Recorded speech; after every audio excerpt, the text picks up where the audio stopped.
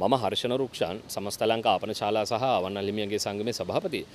මුලින් ස්තුතිවන්ත වන ගෞරවනීය මාධ්‍යායත සියලුම දෙනාවත මාධ්‍යවරණ දීම ලබා දීම සම්බන්ධය. ඇතම ඊයේ දින අපි ගියා මානව හිමිකම් කොමිෂන් සභාව වෙත පැමිණිල්ලක් බාර දෙන්න දෙදස් විසි හතර ජනවාරි පළවෙන්දා දින බිහිසුණු ලෙස ම්ලේච්ච විදියට කඩාබිඳ දැමූ Soul Beach Dehiwala Soul Beach ආයතනය සම්බන්ධෙන් නිර්දේශයක් ඉදිරි නිකුත් වුණා.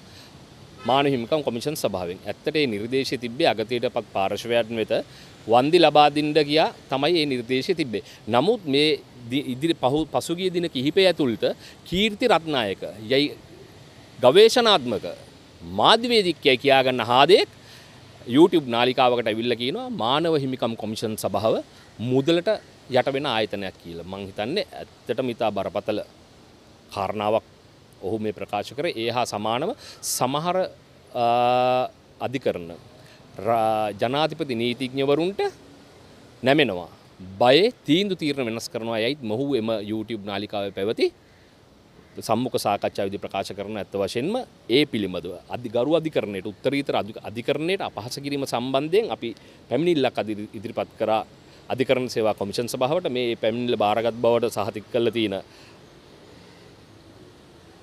මුද්‍රාව ඉතින් මම ඉල්ලා සිටිනවා ගරු අධිකරණයට උත්තරීතර අධිකරණයට අපහස කරපු මේ කීර්ති රත්නායක ගවේශනාත්මක මාධ්‍යවේදියෙක්යයි කියාගන්නා. ගවේශනාත්මක මාධ්‍යවේදියෙක්යයි කියාගන්නා පුද්ගලයාට විරුද්ධව අධිකරණයට අපහස කිරීම මානහිමිකම් කොමිෂන් සභාවට අපහස කිරීම වෙනුවෙන් මොහුට දෙන්ඩෝනේ උපරිම දඩුවම ශ්‍රී ලංකා දණ්ඩ නීති සංග්‍රහය යටතේ ලබා දෙන්න ඕන කියලා තමයි මම මේ ඉල්ලිම කරන්නේ ස්තුතියි.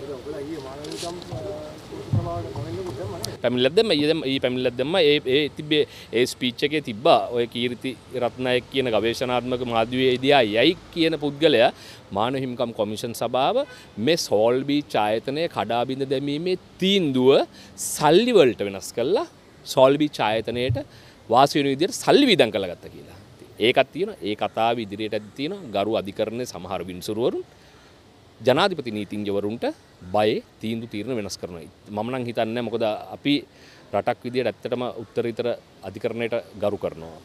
රටේ ජීවත්වන ලක්ෂ දෙසිවිස්සකු ජනතාව උත්තරීතර අධිකරණයට ගරු කරනවා. ඉතින් මේ උත්තරීතර අධිකරණයට කරපු අපහසට විරුද්ධව තමයි අපි මේ චෝදනාව චෝදනා පත්‍රය ලබා දුන්න අද. කතාවත් එක්ක පහල අධිකරණ පැහැදිලිව අපි ඒ ඒ ඔහුගේ බරපතල ප්‍රකාශය ඒ බරපතල ප්‍රකාශයට විරුද්ධව තමයි අපි මේ ඇවිල්ල ඉන්නේ. මේ සංදේශපත්‍රය බාරදුන්න මේ පැමිණිල්ල බාරදුන්නේ අද ඒ බරපතල ප්‍රකාශ සම්බන්ධය මෙහි මොහු මේ කරපු ප්‍රකාශයෙන් ඇත්තටම රටේ ජනතාව සම්පූර්ණයම කුපිත කරන සහ ගරු අධිකරණය පිළිබඳ තියෙන විශ්වාසය කඩාබිද දැමීමක් තමයි මොහු මේ සිදු කරේ. ආපන ශාලා අවනලිංගමයන් සංගමගේ ලේකම් ශ්‍රී රවීන්ද්‍ර නිශ්ශංක. අපි මේ අධිකරණ සේවා කොමිසන් සභාවට මෙතැන්ට පැමිණියේ බරපතල ව්‍යවස්ථාදායකටයි විදායකට අධිකරණයටයි ලොකු චෝදනාවක් කෙනවා මුදල් වලට යට වෙලා කියලා. මෙම චෝදනාව කරන්නේ මාධ්‍යවේදියෙක් කියලා කියාගන්නා පුද්ගලෙක් වන කීර්ති රත්නායක. එතුමා කියනවා මානවිකම් කොමිසම් සභාව සල්ලි අරන් තමයි නිර්දේශ දෙන්නේ සෝල් බීච් එක රෙස්ටෝරන්ට් එකට. මාධ්‍යවේදියතුමාට මං ආනවා සෝල් බීච් එක කැඩුවේ පොලිසිය එන්නේ නීතිය සාමය රැකගන්න. පොලිසිය තමයි ඇවිල්ලා නීතිය සාමය කැඩුවේ එතන. එතන අධිකරණීයව තිබෙන කිසිම දෙයක් තිබෙන එතන එතන ඒ රෙස්ටෝරන්ට් එක කැඩුවා. ඒතකොට ඒ මිනිසුන්ට අසාධාරණයක් වුණාම ඒ මිනිස්සු පොලිසියන්ට බෑනේ. පොලිසියෙන් කාට පොයි පොලිසිය අයියන්ටද? එයාලා ගියා මානවිකම් එකට. එතනට කියලා මානවිකම් තමන්ගේ මානව අයිතිවාසිකම ඉල්ලුවා. ඉල්ලනකොට ඒක නිර්දේශ වුණා මේක දෙන්න වෙනවයි කියන එක. අධිකරණයට ඒක නිර්දේශ කරා. ඊට පස්සේ දෙවනේ දෙවනට කියන මෙතන යන්න තියෙන අධිකරණය කියලා දැනගත්තම කීර්තිරත්නායක කියන අධිකරණයටත් කියනවා මහේස්ත්‍රාත් බයයිලු මේ සල්ලිකාරයන්ට. මේ සල්ලිකාරයන්ට මේ අධිකරණය බයයිලු. දැන් එතනත් තීන්දුව දෙන්න කලින්ම මෙයා බය කරනවා මේ මේ මිනිස්සුන්ට සාධාරණයක් කරන්න එපා කියලා. මේ කීර්තිරත්නායක කියන පුද්ගලයා ඉන්නේ විදායකට ව්‍යවස්ථායදායකට අධිකරණයට උඩින්ද. ඒතකොට මෙයාට වෙනම තනතුරක් දෙන්න ඕන ජනාධිපති උඩින් ඉන්න කියලා. මෙයා ඇවිල්ලා මාධ්‍යවේදියෙක්ද නැත්නම් ජනාධිපති උඩින් ඉන්න පුද්ගලෙද?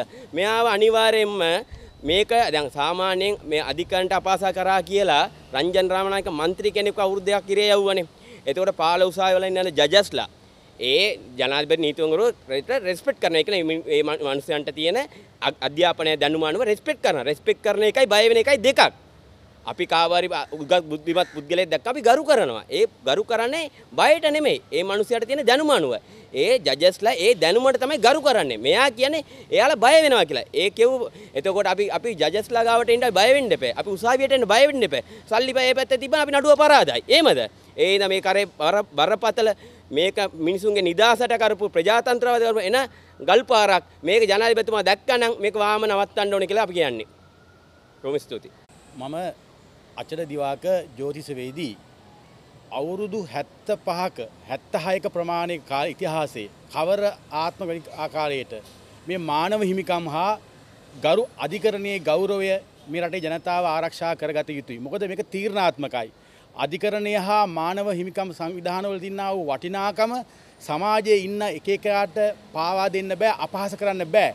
මොකද හේතුව අධිකරණයේ පිහිට මේ හැත්තපන් වසරකම අධිකරණයේ පිහිට අධිකරණයේ රැකවරණය අධිකරණය ආරක්ෂාව මේ රටේ ජනතාවට දැන් අවශ්‍යම මොහොතක්.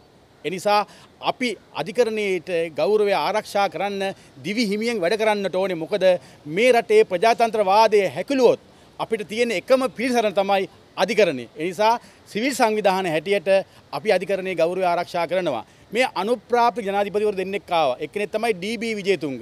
අනිත් එක්කෙන තමයි රනිල් වික්‍රමසිංහ. ඩී.බී. විජේතුංග මහත්මයා අධිකරණයට ගරු කරලා නියමිත වේලාවේදී ඡන්දෙ තියලා එතුමා වලව්කාරයෙක් හැටි වගේ මේ සමාජයෙන් ඉවත් වෙලා ගියා. නමුත් මේ රනිල් වික්‍රමසිංහ මහත්මයා හදනවාද අධිකරණයේ අධිකරණයට බාල්දු කරලා අධිකරණයට අපහස කරලා එහෙම නැත්නම් අධිකරණයට යම්කි තම අධිකරණයේ දෙන්නා වූ මතය තමන් පිළිගන්නේ නැහැ කියන මතයට ජනාධිපතිතුමයි අ, ව්‍යවස්ථාදායක ඇවිල්ලා තියෙනවා. ඒ නිසා අපි කියනවා සමාජයට මේ අධිකරණය තමයි අපිට තියෙන එකම මුදුන් මල්කඩ අපේ දේවාලේ. ඉතින් අපි ඒක ආරක්ෂා කරගන්නට ඕනේ. දැන් ම- දැන් අපි දැක්කා මේ නීති කියන්නේ අපි දැක්කා නීතිපතිතුමාගේ කාලය දික් කරන්න ගරු ජනාධිපතිතුමා යම්කිසි ක්‍රියාමාර්ගයක් ගත්තා. නමුත් විවස්ථාදායක සභාවට හොඳ කසේරුකාවක් තියෙන නිසා හොඳ කොන්දක් තියෙන නිසා ඒ නි- ඒ- ඒකට පස්ස හැරෙව්වා. ඒ කියන්නේ ඒක නීති විරෝධී කියලා විවස්ථාදායක සභාව ප්‍රකාශ කළා. මොකද එහෙම වුණා නම් එහෙම ජනාධිපතිතුමා හිතනවා මට ඕන කෙනා තමයි ශ්‍රේෂ්ඨ අධිකරණයේ අග්‍රවිශ්කාරයා වෙන්න ඕනේ. මට ඕන කෙනා තමයි නීතිපති දෙපාර්තමේන්තුවේ ප්‍රධානියා වෙන්න ඕනේ කියන ජනාධිපතිතුමාගේ මේ පුස් මානසික මට්ටමට සිවිල් ජනතාව හැටියට අපි කැමති නෑ. ඒ නිසා තමයි අපි කියන්නේ අධිකරණයේ ගෞරවය අපි ආරක්ෂා කරන්නට ඕනේ. ඒ සඳහා අපි ක්‍රියාත්මක වෙන්න ඕනේ. දැන් පාර්ලිමේන්තුවේ යම්කිසි පනතක් දෙනවා අධිකරණයට. කෙටුම්පතක් ගේනවා අධිකරණයට. අධිකරණය කියනවා මේවා මේවා සංශෝධනය කරන්න, මේවා අඩු කරන්න, මේවා ක්‍රියාත්මක කරනවා නම් තුනෙන් දෙකේ බලයක් ගන්න. එහෙම නැත්නම් ජනතාවගෙන් අහන්න කියලා අධිකරණයේ තීන්දුවක් දුන්නාම විවස්ථාදායකයා විධායකයා මොකද කරන්නේ? නෑ නෑ අපිව පිළිගන්නේ නෑ. අධිකරණයට වඩා විවස්ථාදායක විධායකයා බලවත් කියලා ඒවා සංශෝධනය නොකර ඕනම විදිහකට තමන් මේක සම්මත කරගන්නවා. එතකොට ඒක අධිකරණයට කරන අපහසයක්. මොකද අපේ විවස්ථාව අපේ රටේ සිවිල් සංවිධාන හැටියට අපේ රටේ ජනතාවට කියන්නේ පුළුවන් තරම් මේ විවස්ථාව අධිකරණය ආරක්ෂා කරගන්නට ඕනේ. විවස්ථාව අපිට ඕන විදිහට නිර්මාණය වෙන්න ඕනේ. ඉන්දියාවේ තියෙනවා ශ්‍රේෂ්ඨ අධිකරණයක් දුන්නා වූ විනිශ්චයක් පාර්ලිමේන්තුව ක්‍රියාත්මක නොකර ඒගොල්ලන්ට ඕන විදිහට විවස්ථාදායකටයි විදායකටයි ආය වැඩ කරොත් ආය ජනතාවට යන්න පුළුවන්කමත් තිබෙන උසාවියට. ඒක ඉන්දියානු ව්‍යවස්ථාවේ තියෙනවා. අපේ ව්‍යවස්ථාවේ ඒක නෑ. අපේ ව්‍යවස්ථාවේ මේ හිල් හදලා තියෙන්නේ මේ පාලක පන්තියට ජය ගන්නයි. ඒ නිසා රාජපක්ෂවරුන්ට ඒ වගේම රනිල්ලට නැවත බලය ගන්න තමයි අපේ රටේ මේ ව්‍යවස්ථාවල් හැදලා තියෙන්නේ. ඒ නිසා සිවිල් සංවිධාන හැටියට හොඳ ශක්තිමත් ව්‍යවස්ථාවක් අපිට ඕනේ අතර හොඳ අ, අධිකරණයක් අපිට ඕනේ අවසර මොකද අපිට බැරි වෙලාවකවත් මේ ජනාධිපතිතුමා ඡන්දෙන් තියන්නේ නැතුව ගියොත් ලක්ෂ ගණන් මිනිස්සු ගෙනල්ලා මේ අධිකරණය අභියස අපි යාඥා කරනවා අපි ඉල්ලා සිටිනවා අපිට ප්‍රජාතන්ත්‍රවාදය ලබා දෙන්න කියන එකම ඉල්ලීම අපිට කරන්න තියෙන අධිකරණයෙන් පමණයි. ඒ නිසා අපි අධිකරණයට සදා ණය ගැති වෙනවා අධිකරණයේ ගෞරවය ආරක්ෂා කරන්න කියලා මේ වගකියුත්තන්ගෙන් අපි ඉල්ලා සිටිනවා. බොහොම ස්තුතියි.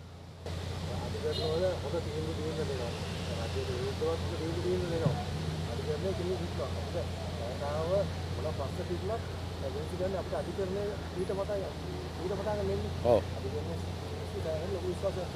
ඒ විශ්වාසය අධිකරණය කියන විශ්වාසය දිගට යන එක මේ මේ ප්‍රශ්නත් එක්ක. ඇත්ත වශයෙන්ම ඒ කියන්නේ මිනිස්සුන්ට තියෙන එකම මිනුම් දන්න තමයි අධිකරණය. ඒ කියන්නේ විවස්ථාදායකයයි විධායකයයි වැඩ කරන්නේ Tamanට හිතුමතේ විකාර විදිහට. නමුත් අධිකරණය මිනිස්සු ගෞරවය ආරක්ෂා කරනවා. ඒ නිසා සමහරක් අයට ඕනේ මේ අධිකරණය බාල්දු කරන්න. එහෙම බාල්දු කරන්න ඕන නිසා නේ වචන කියන්නේ. ඒ කියන්නේ ජනාධිපති නීතිඥයෙක් දැක්කොත් අධිකරණයේ ඉන්නා වූ මයිස්ත්‍රාත් බය වෙනවා තැති ගන්නවා කියලා කියන ප්‍රකාශනය මහා බරපතලයි. ඒ කියන්නේ අපිට එක අතකින් එනවා අදහසක් ඒ කියන්නේ අපි අපි නඩුවක් කරලා අපි අපරාධයක් කරනවා. අපි අපරාධයක් කරලා අපරාධයෙන් බේරෙන්න ජනාධිපති නීතිඥයෙක් අපි අරන් යනවා. ඒ කියන්නේ මුදලක් දීලා වැඩිපුර. එතකොට ඒකට ජනාධිපති නීතිඥයාගේ තනතුරට මයිස්ත්‍රා ගරු මයිස්ත්‍රාත්තුමා බය නම් ඒක භයානක දෙයක්. ඒ වච- ඒ වචන කියන එක භයානකයි. නීතිය ගෞරව ආරක්ෂා කරන්න ඕනේ. අපි ආරක්ෂා කරන්න ඕනේ. ඒක තමයි මම කිව්වේ. දැන් දැක්කනේ අර ස්ත්‍රී පුරුෂ සමානාත්මතාවය පනත. ගෙනාව පාර්ලිමේන්තුවෙන් අධිකරණය කිව්වා මේවා මේවා සංශෝධනය කරන්න කියලා. නමුත් ජනාධිපතිතුමා මොකද්ද කියලා කියන්නේ? ජනාධිපතිතුමා මුට්ටිය දාලා බලනවා. මතක තියාගන්න ඕනේ මේ ජනාධිපතිට මිනිස්සු බයයි. අපි බය නැහැ ජනාධිපතිට. මොකද මේ රටේ ජන ජනතා යා ඡන්දයෙන් පත් වෙච්ච නැති මිනිහෙක්. ඒ නිසා අධිකරණය තමයි අපිට තියෙන රැකවරණය. ඒ නිසා පොඩි මිනිහා කිව්වත් එකයි ජනාධිපතිතුමත් කිව්වත් එකයි ඒක උසාවියට අපහාස කිරීමක්. ඒක අපිට ගන්න ඕනේ. ගන්න පුද්ගලයා ඒ තමයි මොකද ඔහු කවුරු හරි කෙනෙක් පිටපස්සේ ඉන්නවා. ඔහු ඔහු කවුරු හරි කීමකට මේ ක්‍රියාත්මක වෙන්නේ. ඔව් ඇත්ත වශයෙන්ම අපිට තේරුම් ගන්න පුළුවන් මේ වගේ මුග්ධ කියන්නේ මුග්ධ මෝඩ වචනයනේ මේ කියන්නේ. ඒ කියන්නේ පල්ලෙහා උසාවියේ ජජස්ලා ජනාධිපති නීතිඥයෙක් දැක්කහම බය නම් මානව හිමිකම් සංවිධාන මුදලට යට වෙලා කියලා කියනවනම් ඒ කියන්නේ කාගේ හරි උමනාවක් ඇති යට ඒක කියන්නේ. නමුත් එතුමා මෙතෙන්දී හවු වෙනවා. ඒ කියන්නේ සම්පූර්ණ අධිකරණයට අගෞරවයක් කරනවා. මානව හිමිකම් වලට අගෞරවයක් කරනවා. ඒ- නිසා එතුමා කවුරු හරි හස්තයක් ඇති. අපිට නොපෙනෙන හස්තයක් ඇති. මේ සම්බන්ධව අධිකරණයට කවුරු තමින්වත් දාලා නැහැ ඔව් අද තමයි දැම්මේ අපි නේ. අද තමයි දැම්මේ. කොමිසම තමයි දැම්මා. ඒක තියෙන්නේ මේක නෙවෙයි. අද දැම්මේ. හැබැයි ඊයේ ගිහිල්ලා මහාන හිඟම් එකටත් දැම්මා පැමිණිල්ලක්. අද තමයි පළවෙනි වතාවට අධිකරණ කොමිසම සභාවට ඇවිල්ලා මේ ගැන පැමිණිලි කරේ.